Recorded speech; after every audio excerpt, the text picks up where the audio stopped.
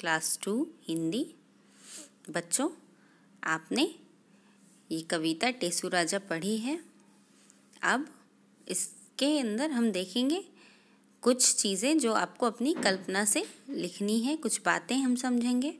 गिनत, अनगिनत, कुछ चीज़ें ऐसी होती हैं जिन्हें गिना जा सकता है और कुछ चीज़ों को नहीं। जिन चीज़ों को गिन सकती हो, उनके आगे हाँ लिखो और जिन्हें नहीं गिन सकते हो, उनके आगे नहीं लिखो। कंबल के खाने, अगर आप गिन सकते हो तो हाँ लिखो, नहीं तो नहीं। पेड़ के पत्ते, नहीं। सिर के बाल, नहीं।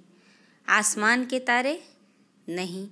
घर के लोग हाँ। कापी के पन्ने हाँ। चींटी के पैर।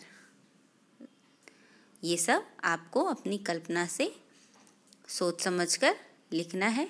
कवि बन जाओ तुम। नीचे दी गई कविता को ध्यान से पढ़ो। एक पेड़ पर कितने पत्ते, जितने गोपी के घर लत्ते, गोपी के घर लत्ते जितने, कलकत्ते में कुत्ते जितने। अब तुम इस कविता को आगे बढ़ाकर लिखने की कोशिश करो अपने शब्दों में। आप सोच समझकर इस कविता को अपनी भाषा में आगे बढ़ाएँगे और लिखेंगे अपनी कॉपी पर।